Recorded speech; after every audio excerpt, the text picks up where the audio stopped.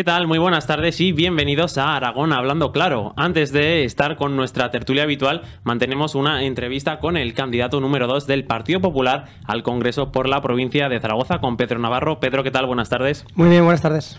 En primer lugar, eh, este miércoles, entre algunas de las cuestiones que rescatábamos de las declaraciones de, Pablo Casado en el acto que tenía lugar en el Palacio de Congresos de Zaragoza, se refería, entre otras cuestiones, como decimos, a la situación del sector de la automoción, a la situación de los trabajadores de la factoría de Opel en Figueruelas y esa problemática eh, por la disminución de la, venta de vehículos y en, el, en este eh, mes, en el pasado mes de, agosto, en el sector de la automoción y debido a la situación con respecto al diésel desde el gobierno central, desde los gobiernos socialistas. ¿Cuál es la preocupación en, este, en esta materia?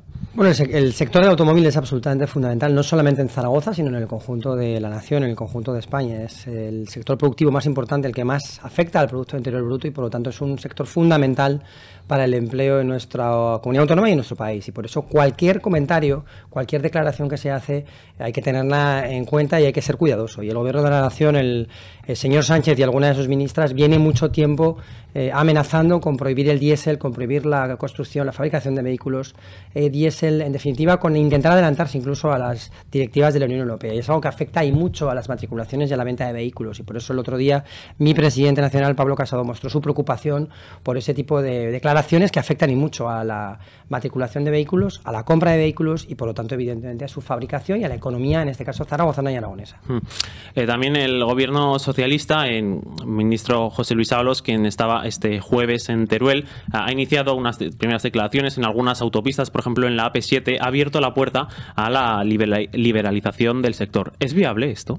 Bueno, lo primero que habría que pedirle al señor Ábalos es un poquito más de responsabilidad, porque en la semana que hemos conocido los peores datos de paro para Zaragoza, Aragón y España desde 2012, no me parece muy responsable decir que la gente se va al paro porque confía en encontrar un trabajo pronto. Por lo tanto, todas las declaraciones del señor Ábalos, o al menos las realizadas últimamente, me parecen poco responsables. En cuanto a la liberalización de los peajes de autopistas, evidentemente es una cuestión estrictamente económica que habrá que valorar con detenimiento, pero tengo la sensación de que no es la prioridad en estos momentos para la comunidad autónoma y para el conjunto de la nación. Lo prioritario son las infraestructuras de calidad. Si para eso hay que liberalizar peajes, evidentemente nosotros estaremos de acuerdo. Pero lo importante es comprometerse primero con otras infraestructuras, como la Nacional 232. Estuvimos el otro día en Pina de Ebro y en Figueruelas reclamando el desdoblamiento de una vez por todas y todas aquellas infraestructuras que el gobierno del Partido Socialista por culpa de la moción de censura, ha paralizado nuestra comunidad autónoma. Hablamos de infraestructuras, algo que también va ligado a la despoblación, a poder descombatirlo, eh, poder combatir este fenómeno que además eh, la situación de la central térmica de Andorra, con esa transición energética ecológica para el cierre programado para junio de 2020, eh, en cambio son partidarios de poder alargarlo como se ha hecho en otros países de Europa. Bueno, es cuando hablas de transición, evidentemente lo que estás hablando es de, valga la redundancia, un periodo transitorio y por lo tanto de una alternativa una alternativa poco a poco. Y se ha cerrado la térmica de Andorra sin esa alternativa, dejando absolutamente abandonada a toda una comarca y a una provincia tan importante como Teruel. Eh, evidentemente lo que tenemos que poner encima de la mesa son alternativas. No podemos cerrar sectores productivos tan importantes como ese en nuestra comunidad autónoma y en el conjunto del país sin proponer una alternativa económica y de generación de empleo, que es lo que deberían haber hecho. Eh, se nos ha llenado la boca durante toda la campaña, o se les ha llenado la boca a algunos hablando de la España vacía, de la España vaciada. Pero la realidad es que los que estamos en los municipios, los que estamos en las provincias, somos siempre los mismos, es el Partido Popular. El otro día me preguntaba en otra entrevista si qué opinaba sobre la creación de un ministerio, sobre la España vaciada, como había propuesto el señor Sánchez, y lo que contesté es que ese ministerio ya existe y son las diputaciones provinciales. Son las diputaciones provinciales. Lo que tiene que hacer el Partido Socialista es creérselo. Es creérselo. Hasta en el pueblo más pequeño de la comunidad autónoma hay un concejal del Partido Popular. Lo que tiene que hacer el Partido Socialista y otros partidos es creérselo. No solamente se trabaja con banda ancha o con Internet en los municipios, se trabaja con infraestructuras, se trabaja con sanidad y con educación. Y lo que tenemos que hacer es garantizar de una vez por todas a todos los habitantes de ese tipo de municipios, de los pueblos más pequeños de nuestra comunidad autónoma, la garantía de acceso a unos derechos en igualdad de condiciones con los que vivimos en la ciudad. Pedro Navarro, candidato número 2 del Partido Popular al Congreso por la provincia de Zaragoza. Gracias por su tiempo, por acompañarnos estos minutos aquí con nosotros en Esra de Aragón. Muchas gracias a vosotros.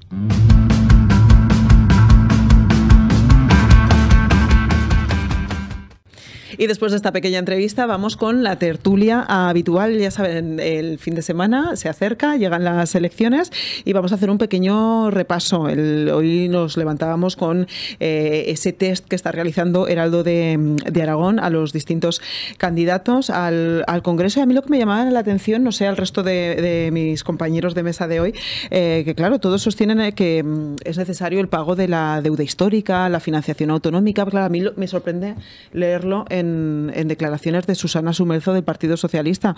Eh, ¿Por qué no predican con el ejemplo este año y medio que han estado gobernando? Porque la financiación autonómica se prometió y no se dio ni medio paso. Y, de la deuda histórica, pues sí, ella aquí en sus declaraciones eran unos 7.500 millones de euros ya de deuda histórica con Aragón en el 2016.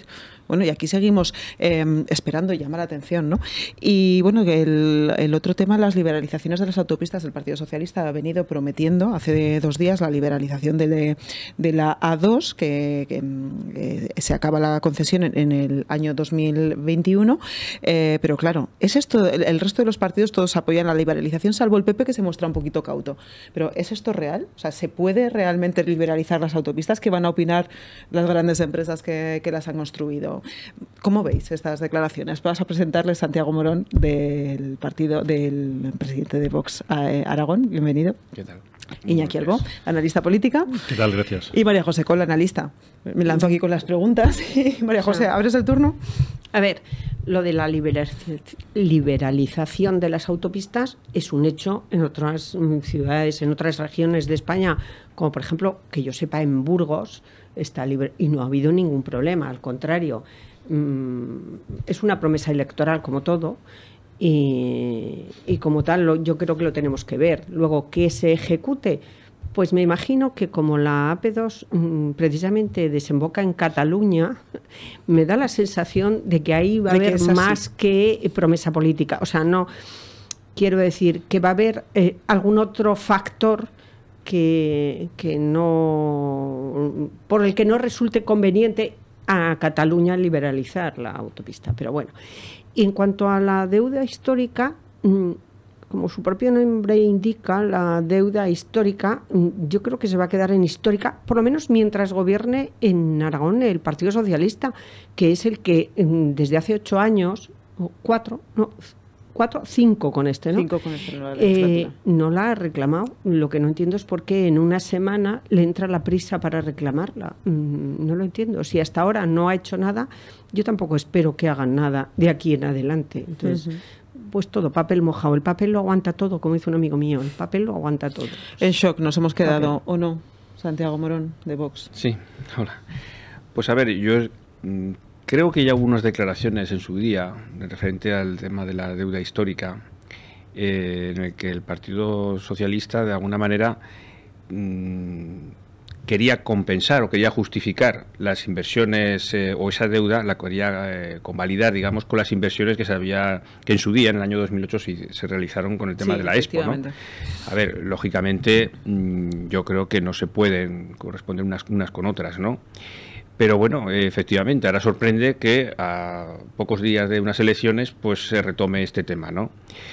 Y, sí que quería comentar en cuanto al tema de la, de la liberalización de las, de las eh, autopistas, que yo creo que tenemos una los, los, políticos y sobre todo los gobiernos tienen la obligación de proporcionar unas, unas carreteras en condiciones, condiciones eh, seguras a los ciudadanos. Yo creo que eso es una obligación importante cuando estamos hablando sobre todo de vidas humanas, aparte de una cuestión económica importante, eh, cuando a lo mejor una carretera pues puede o una autopista puede reducir el tiempo, por ejemplo, de conducción, de transporte, de, recorrido, ¿no?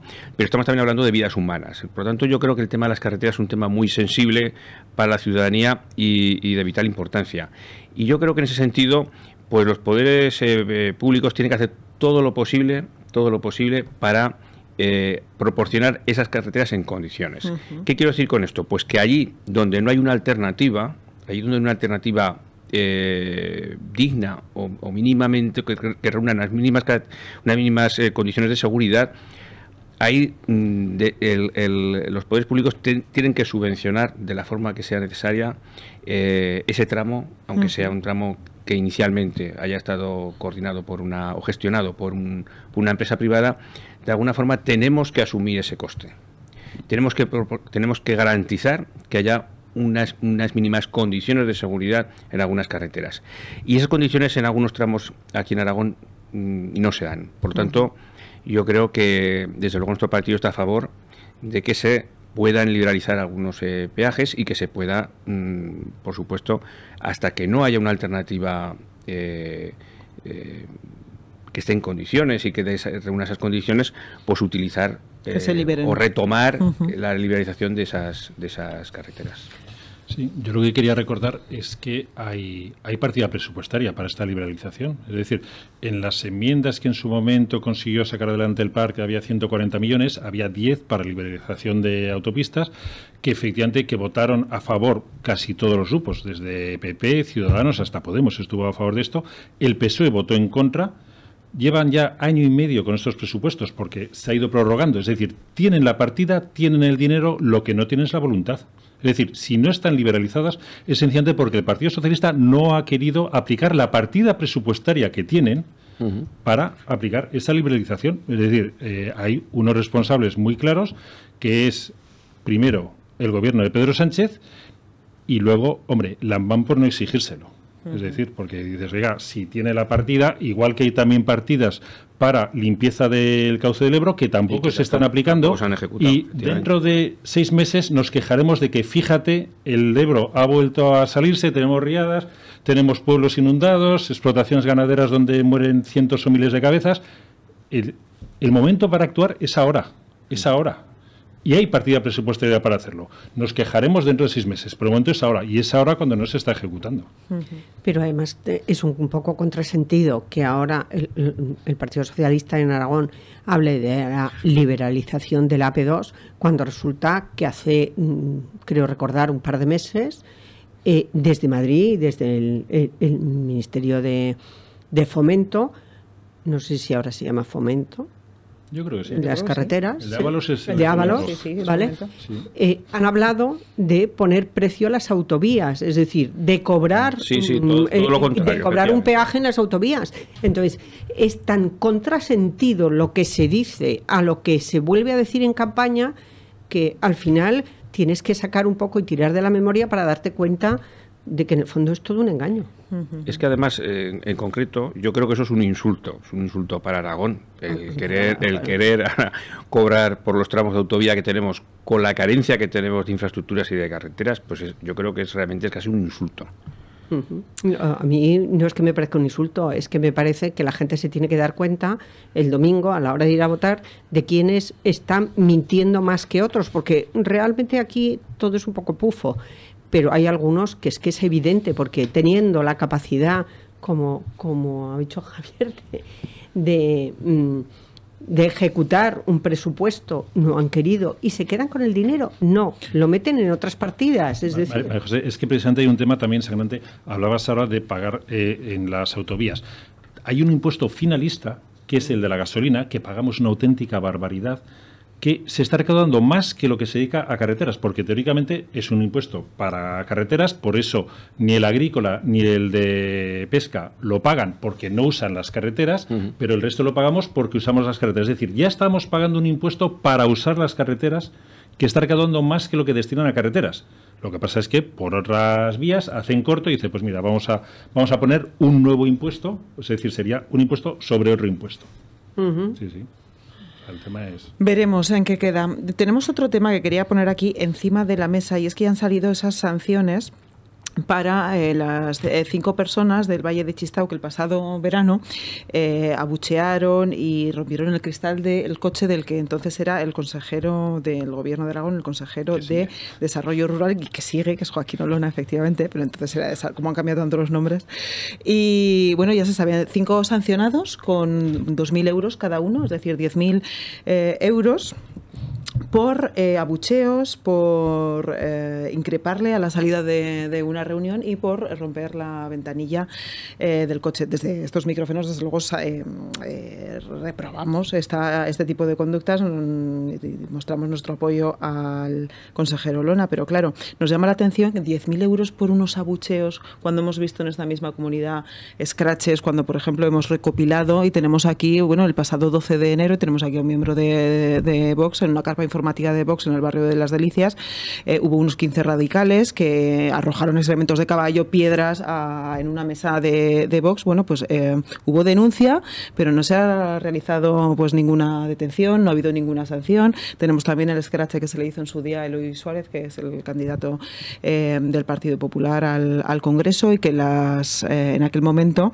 las sanciones fueron de entre 200 y 1.500 euros cuando bueno, una labor de, pues eso, de scratch en, su domicilio. ¿no? Entonces llama un poco la atención de cómo ahora el gobierno de Aragón a, uno de, los suyos les aplica 2.000 eh, euros. Eso sí, claro, eh, esto era en el contexto de, las quejas de los ganaderos en la zona del Pirineo por la por el lobo, la presencia del lobo, del oso, eh, del oso los dos, los dos, que estaba precisamente em, pues atacando a su, a su ganadería y ocasionándoles pérdidas.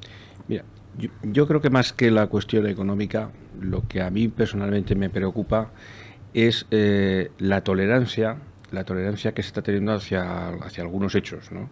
Es decir, eh, ayer mismo, bueno, si fue ayer o antes de ayer, en, el País Vasco, en, Vizcaya, a, una, una, de nuestras candidatas al Congreso, pues sufrió agresiones, sufrió patadas y golpes y, yo no he visto eh, ni he escuchado eh, declaraciones de otros partidos condenando estos hechos. Yo creo que esa llamada que hizo en su día eh, Podemos y a las que se sumó también el Partido Socialista, hablando de, la alerta antifascista, que incluso, incluso la que se ha sumado el, grupo Prisa, pues yo creo que es muy peligrosa. Y, y, a mí realmente lo que me preocupa es eso, es la tolerancia que los propios, eh, los propios partidos políticos, los representantes políticos se tendrían que dar ejemplo a la sociedad. Los propios representantes eh, políticos de algunos, eh, sí, de algunos partidos y medios de comunicación están teniendo ante, ante estos hechos. ¿no? Eso es lo que me preocupa realmente. La cuantía que pueda establecer un juzgado, bueno, yo no lo voy a, yo no lo voy a cuestionar porque realmente en algunos casos pues se pueden tener, se pueden dar circunstancias que a lo mejor no conocemos al detalle. Por tanto, para juzgar o criticar una resolución judicial hay que conocer exactamente todos los detalles. Pero en sí a mí lo que me preocupa es esa tolerancia que se está viendo en la sociedad ante estos hechos. Y ya no son hechos, hechos aislados, son hechos que se, son, están siendo ya muy, muy reiterativos y que, por supuesto, pues nosotros no, no vamos a tolerar, claro. A mí me parece bien, estoy totalmente de acuerdo. Es decir, mm, cuando se ha roto la luna de un coche en el que van dos personas a saber, la persona que va representando al gobierno de Aragón, que no, no deja de ser una autoridad en ese momento, ¿eh? Y, y, el conductor de ese coche y se ha roto una luna, es que en algún momento se ha temido por su integridad física. O sea, me parece que una cosa es un scratch que desde luego no lo acepto y no lo tolero también, eh, tampoco, pero mm, una cosa es un scratch que, yo sepa ahora mismo están prohibidos porque al final se, legisló sobre ese tipo de, temas porque estaban ya proliferando en exceso.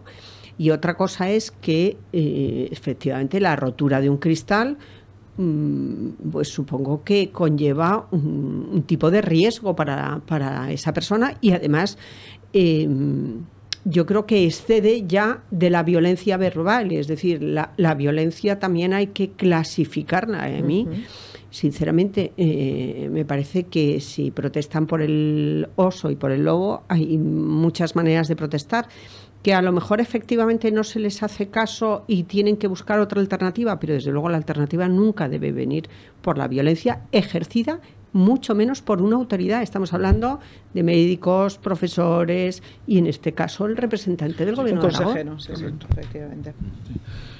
Yo estoy de acuerdo, aunque sí que es verdad que efectivamente no se ve esa proporcionalidad respecto a muchos otros casos, que vendría muy bien. Es decir, eh, en la, la Cale Borroca empezó en gran medida a descender de intensidad cuando las juergas de los hijos los empezaron a pagar los padres. En ese momento, a partir de ese momento, digamos, ya la cosa empezó a ser menos divertida, ¿no? Cuando hay que pagar, cuando quemas contenedores, rompes escaparates, haces estas cosas y no tiene consecuencias, pues es muy divertido. Te vas con los amigos, te lo pasas bomba. Cuando eso tiene consecuencias, ya eh, la gente se lo empieza a pensar un poco más. Entonces, mm, efectivamente estoy de acuerdo, pero me, me molesta esa falta de proporcionalidad y entrando en el fondo es que los ganaderos están en una situación muy difícil, no solo en este lado del Pirineo, también en el otro.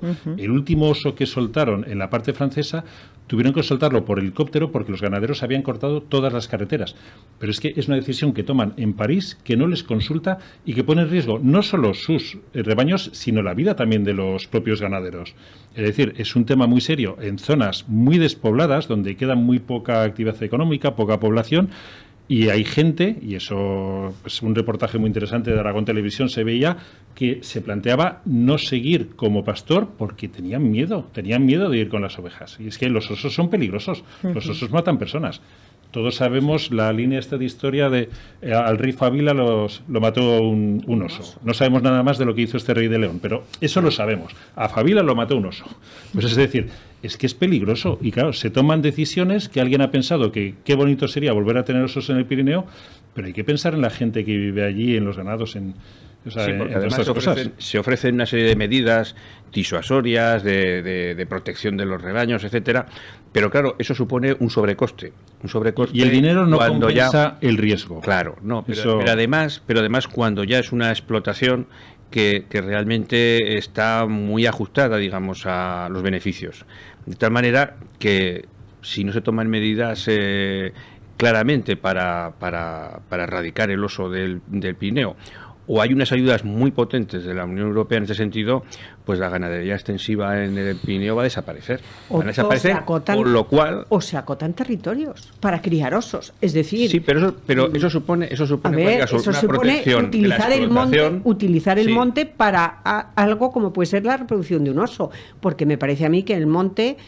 Pues salvo pastar rebaños, que yo creo que pueden convivir las dos cosas, me da la sensación de tal como está, hay tal como está en estos momentos la, la- la legislación, pues el- eh, los osos evidentemente se mueven libremente por el Pirineo Claro. y cambian, porque de hecho el, el- el oso que ha dado problemas, el oso Goyat, es un oso que viene, que se soltó en, el- en la zona eh, francesa y que pues se ha, ahora ha venido a los a los valles eh, aragoneses, pero que es un oso eh, que además no es, ni siquiera es originario de aquí, sino Son que es de origen esloveno. O sea, Pero fíjate, a mí una cosa que me llama mucho la atención es cuando leo eh, noticias de este tipo en la prensa y, y hacen constar que es que este, lo- este oso que es fulanín, porque a todos les ponen nombre, no responde a las pautas de comportamiento de un oso. Digo, vamos a ver, vamos a ver, vamos a centrarnos. Que todos son Eh, osos. claro, eh, pero entonces, María José, nos tenemos que seguimiento. marchar, se nos ha echado el Sí, tiempo perdón. encima, pero bueno, con esa idea nos quedamos de la polémica del oso que seguimos hablando con ella. Gracias por acompañarnos, María José Col, Iñaki Albo y Santiago Morón. Muchas gracias. Volvemos el lunes con más tertulia y ya con resultados electorales. Disfruten del fin de semana.